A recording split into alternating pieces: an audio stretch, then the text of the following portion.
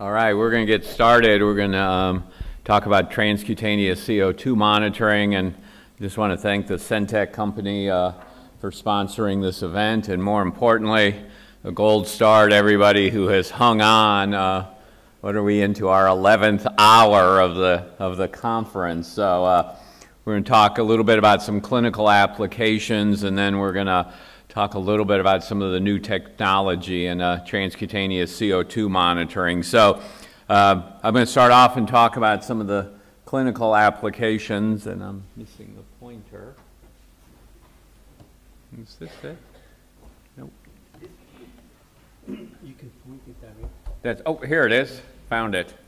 I've gotten so used to doing that today. So, anyway, so when I, when I, was writing this title, I couldn't help but think of my friend Buzz Lightyear to infinity and beyond. So uh, my kids are now 10 and 12, so we don't have too much Buzz Lightyear any, anymore. So uh, just as far as uh, declarations, uh, this presentation is supported by Sentec.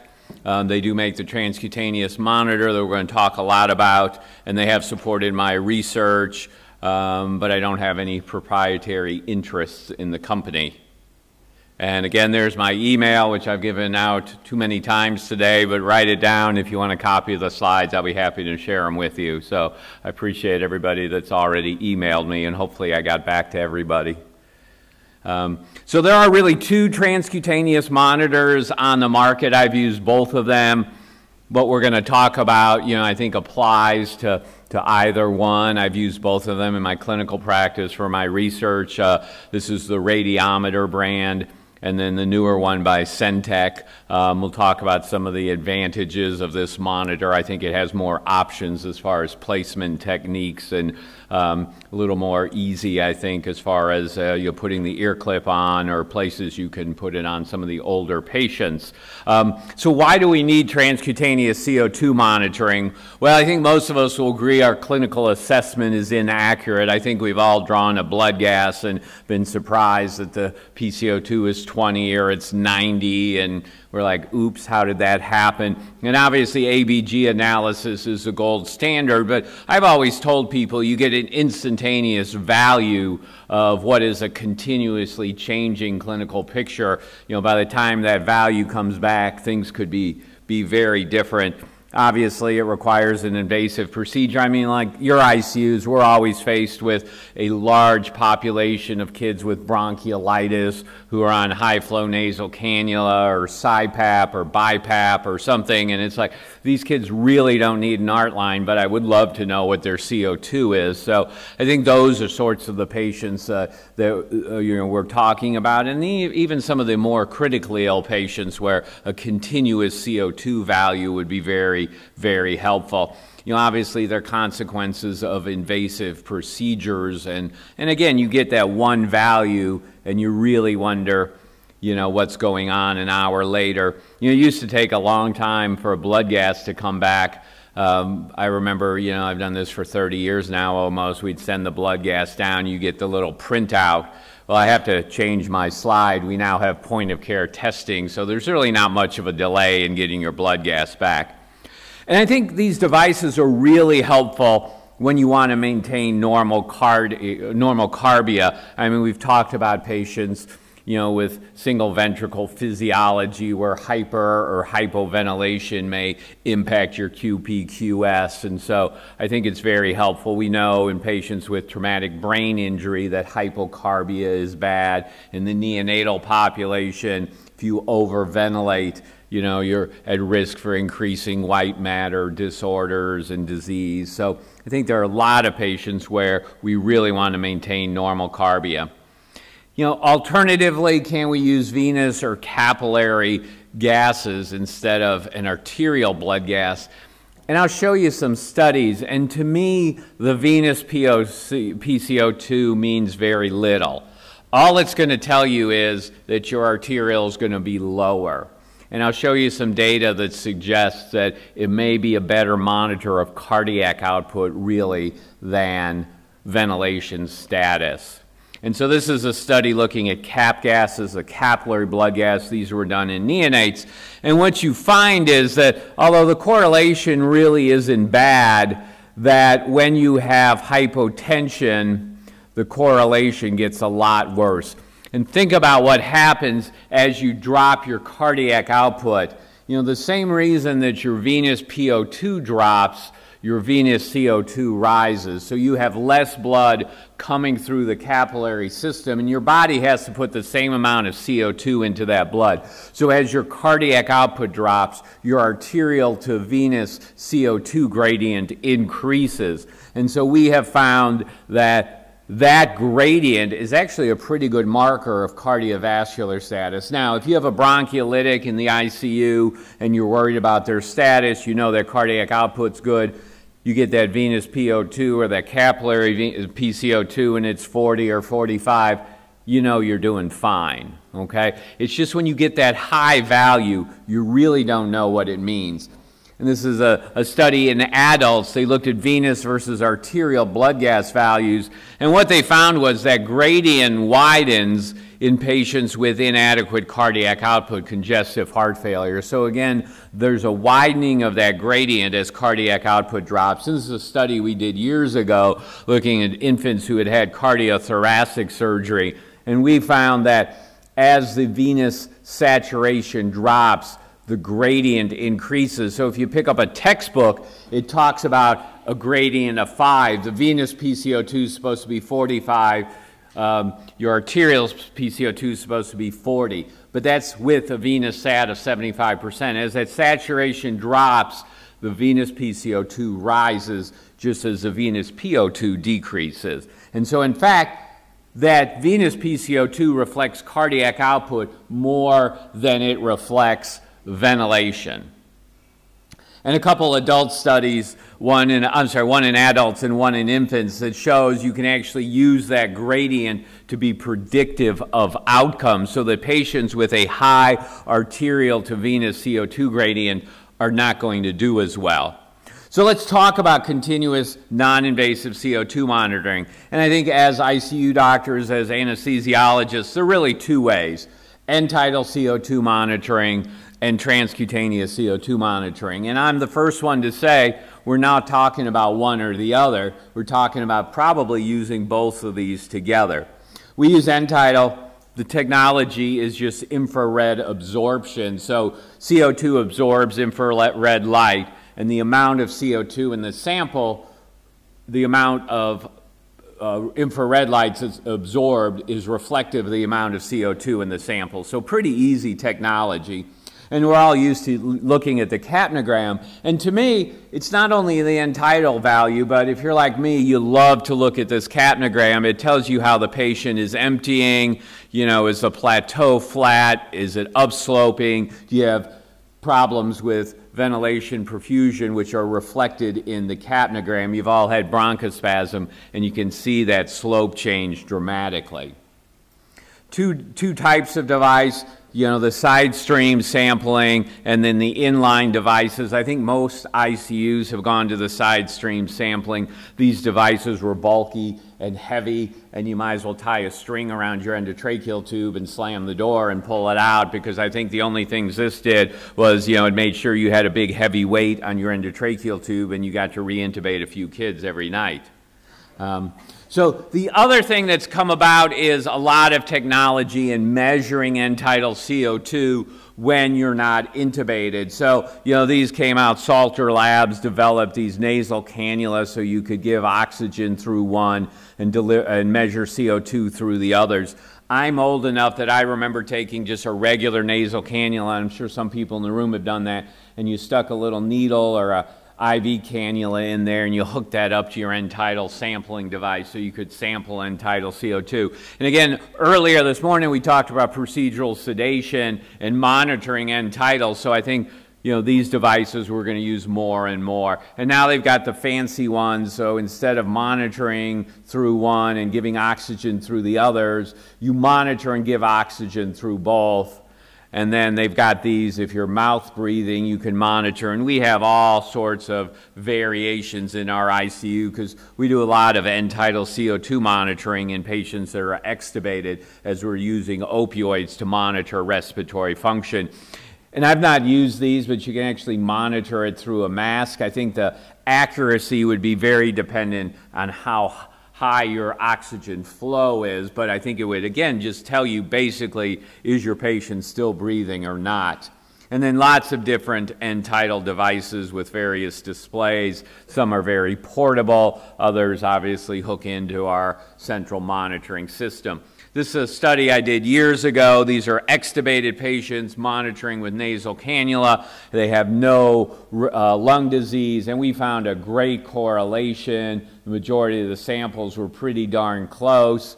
Uh, good linear correlation. So again, in the absence of lung disease, end tidal works great. It's quick, it's easy to set up, there's not a lot of calibration time you know, documents the endotracheal tube is in the trachea. So again, we're not talking about using one device or the other, but maybe using them both to, together. But there are certain disease processes, various patient factors that are going to interfere with the accuracy of end tidal CO2 monitoring. And I think, you know, we've all uh, been through medical school, we've done residencies, so I think we all know the the things that interfere with the accuracy of end tidal CO2 monitoring.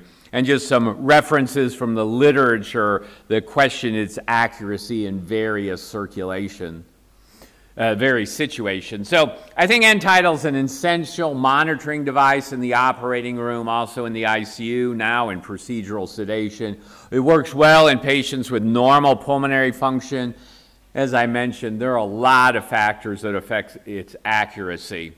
And, you know, there's situations where you can't use end tidal. This is one of the first scenarios that we found transcutaneous to be incredibly effective. You know, obviously these patients' CO2s vary dramatically from hour to hour, so when you're on the oscillator, you can't measure end tidal. We do a lot of non-invasive ventilation.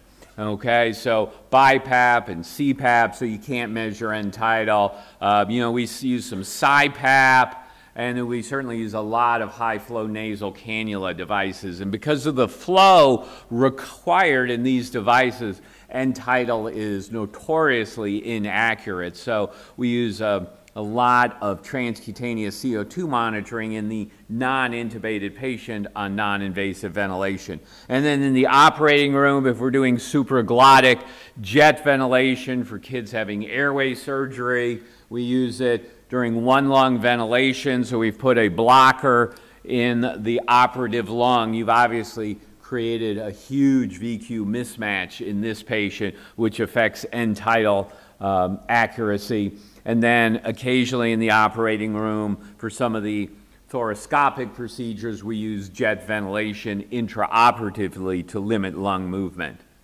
So let's spend about 10 minutes to finish up and talk about some of the applications of transcutaneous CO2 monitoring. Now, being American, we talk about millimeters of mercury for CO2, so I've not changed all my slides. There are, there are a couple of things I published in the British literature that I've used kilopascals on. And I remember getting the reviews back from that paper, and I was like, oh my goodness, but it's fairly easy to convert. So you'll just have to, again, when I talk millimeters or mercury, if you're used to kilopascals, there's the conversion factor. So how did I get into this? Well, a long time ago, I um, took a job at the University of Missouri, and when I started working in their ICU, they had a great respiratory therapy staff, and they were using transcutaneous CO2 monitoring. And I was like, well, that doesn't work, you know, except in neonates. That was the only place I'd seen it. And they were like, you know, yes, it does. And of course, I knew everything because I was young. And I was like, no, it doesn't. So we made a bet. And so we did a study, and then, uh, you know, I had to take everybody out to dinner one night and admit that I was wrong, and it really did work. But to me, it showed that, you know, transcutaneous CO2, again, I think the technology is a little more difficult to learn than end-tidal. so you have to have a staff that is invested in the devices and knows how to use them. This is the first study we did. We just took a cohort of neonates and infants, toddlers. Um, average age of about 1 to 40 months, but they had respiratory failure, they were intubated. And so a lot of them had significant lung disease. And if you look here, we found a fairly low transcutaneous to CO2 to PCO2 gradient, much higher with end tidal.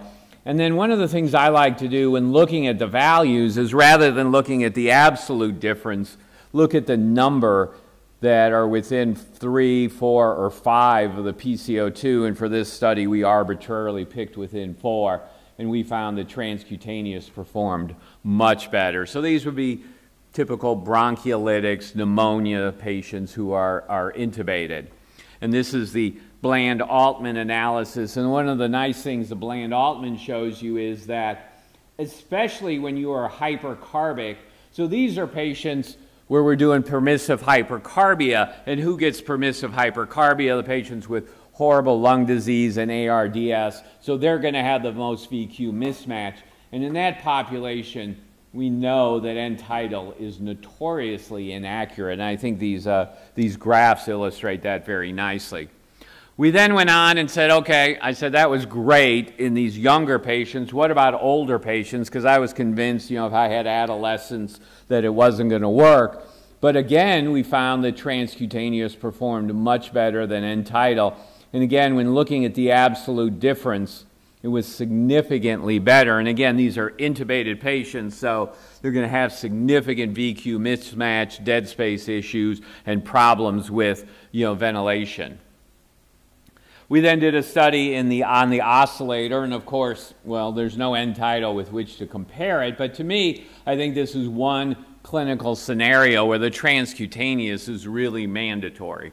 When you're doing high frequency oscillatory ventilation, you really want to know what your PCO2 is. And the one thing we found was that, unlike end tidal monitoring, it doesn't really matter whether your PCO2 is high or low, is your patient hypercarbic or not, the transcutaneous is equally as accurate.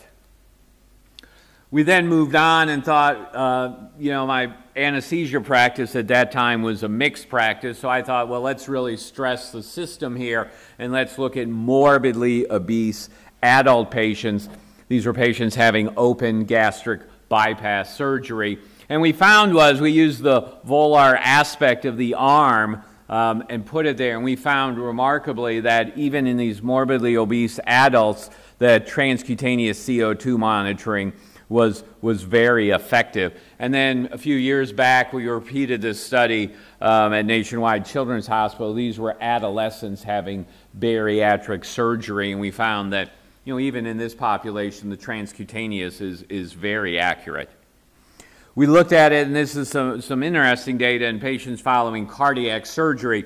And we identified a clinical scenario where transcutaneous CO2 doesn't work. So when you are hypoperfused, significantly hypoperfused, or when you are on medications that are vasoconstrictors, you vasoconstrict to the skin, and the ratio between the transcutaneous and the arterial CO2 widens. So we found that and the magic numbers for cutoff were pretty high, you know, dopamine of 20 and epinephrine above 0.3. The transcutaneous CO2 monitor is, is, is relatively inaccurate at that point. But other than that, you know, even on some fairly significant inotropic support, uh, the transcutaneous still worked. And obviously, if you're on vasodilator drugs in this scenario, uh, dobutamine, milrinone, nicardipine, it worked very well and excluding those patients who were on the high dose dopamine or epinephrine, the gradient was similar to what we had seen in the non cardiac population. And so I mentioned earlier that we had had some problems in our cardiothoracic ICU with a couple of uh, cardiac arrests in the middle of the night, whether it was related to the suppressant effects of dexmedetomidine on sinus node function. We weren't sure, but part of our protocol to hopefully prevent that was end tidal CO2 monitoring and transcutaneous CO2 monitoring. And so now all of our neonates and infants in the cardiothoracic intensive care unit have both monitors attached. The majority of our patients come back extubated from the operating room, so we were wondering if we were missing some slow, slow problem with respiratory or cardiovascular function resulting in hypercarbia. And again, we've not really identified the problem, but as we protocolize the sedation, the pain regimen and really upped our monitoring, we've seemed to eliminated these uh, events. So we kind of branched out with this and we thought, well, let's look at monitoring transcutaneous CO2 in patients who are hyperventilating for, from diabetic ketoacidosis. So some of these patients had PCO2s in the teens or even lower than that. And so we were wondering how accurate the transcutaneous CO2 monitor would be. And even with significant hypocarbia, we found that it was quite accurate. And then we developed a little formula. And so one of the interesting things is as you're caring for these patients, you can watch the acidosis resolve in the absence of lung function, uh, problems with lung function or depression of ventilatory function, you can watch the PCO2 go up as the pH goes up and the acidosis resolves. So just another uh, clinical scenario where you might want to consider transcutaneous CO2 monitoring. We've used it in apnea testing. One of the problems we have with apnea testing, as you, as you know, is that the PCO2 rise is incredibly variable. In some patients, it goes up two a minute, in others, it goes up four. And some of the problems you have is as you're doing the apnea test is when do you draw the blood gas because you want to catch that PCO2 more than 60 but you don't want to wait too long because if your patient gets too acidotic, obviously you can have some cardiovascular dysfunction. So basically, just to summarize, what we found was that if we waited till the transcutaneous got to be about 70, then we were pretty sure that the PCO2 would be more than 60, and we would have a, I never know whether that's a positive or a negative apnea test, but you know, you would then document your PCO2 60 and your patient's not breathing. We did see a little bit of a wider gradient than we saw in some of our other studies, and I'm not sure if this is just a calibration time or, or what is responsible for that. And then there's a, a nice paper in the adult literature where they were especially concerned about the effects of the hypercarbia and acidosis, so they don't want to let this apnea testing go on any longer than they absolutely have to. And Unlike our study, they found that when the transcutaneous was 60, they were ready to, to draw their blood gas. So 60, 70, again, I think it's a very useful monitor for apnea testing. A couple nice uh, neonatal transport studies. Again, you know, in the helicopter and the ambulance, you really can't monitor blood gases, and they found by using transcutaneous CO2, they could adjust their ventilation during transport. And so when you arrive, you know, you're not hypercarbic and you're keeping the patient more in the desired CO2 range. And another transport study, um, again, you were able to adjust ventilation effectively and your patient was more likely to arrive with a normal pH and a normal PA CO2. And I, when I was putting this together and updating my slides, I came across this in the Swiss Medical Weekly. So obviously people are uh, already using uh, transcutaneous CO2 monitoring um, here in Switzerland, so this is obviously nothing new. Um, so just to summarize, I think the advantages are the device is going to be more accurate than end-tidal in many clinical scenarios. I mean, if you've got perfectly normal lungs, end-tidal is usually spot on. Um, you know, again, your end-tidal is going to be two or three lower. Your transcutaneous may be a couple higher. Um, I, I like the transcutaneous CO2 when we, you're doing non-invasive ventilation. When I look back to now versus 20 years, I mean, we avoid intubation in so many patients with high flow nasal cannula, CPAP, and BiPAP. And those are the patients you really want to know what your PCO2 is because I think the adult literature is somewhat worrisome in that we know that some of the studies suggest that the use of non-invasive ventilation may actually increase mortality, and I think some of that is, you know, they may wait too long to intubate. So I think having a continuous monitor of CO2 is very helpful in these scenarios. Um, the accuracy is not affected by pulmonary disease, VQ mismatch, so your patients with shunt, congenital heart disease, very accurate monitor. It's not affected by small tidal volumes or rapid respiratory rates, and we can use it with high frequency ventilation. The disadvantages, yeah, it's a little more labor intensive. I have seen a dramatic improvement over 20 years in this technology, but it obviously still has to be set up and calibrated, and the membranes have to be put on. Um, accuracy is going to be affected somewhat by low perfusion states, but higher doses of vasoconstricting agents.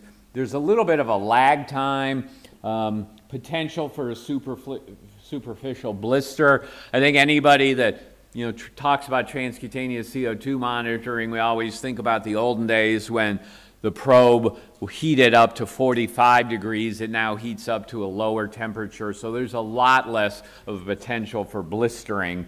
Um, and then I think we're all just less familiar with it than than end-tidal. We use, you know, we started using transcutaneous CO2 uh, in the operating room at Nationwide Children's Hospital seven years ago when I got there.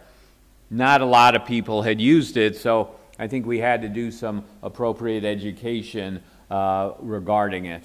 Um, there's a newer device, so you now uh, not only can have transcutaneous CO2, but you can get PO2 uh, neonates and you can also get pulse oximetry. So there are lots of options for the devices, but you can get transcutaneous CO2 and pulse oximetry from, from the probe. So just to summarize, there's a review article I wrote a few years ago in Pediatric Anesthesia. It provides an accurate, continuous estimation of arterial CO2. Um, end-tidal monitoring remains a standard of care to document the intratracheal position of the endotracheal tube.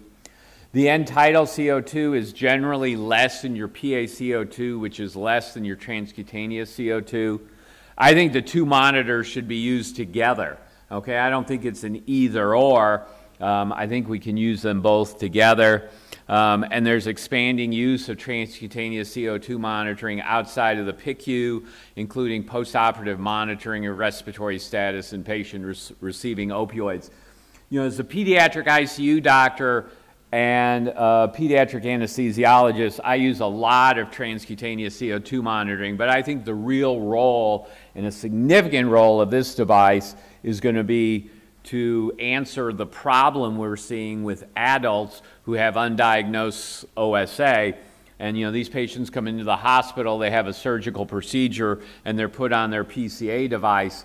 And then we have, uh, I think, a, what some have said is an epidemic of adult patients dying of opioid-induced respiratory depression. So I think we're seeing more use of this device monitoring adult patients on the inpatient wards after they've had surgical procedure when they're receiving uh, opioids. And, you know, this has been a big push of the Anesthesia Patient Safety Foundation because we, we are seeing a lot of patients who are having respiratory depression from, from opioids. And that's all I've got. Thank you very much.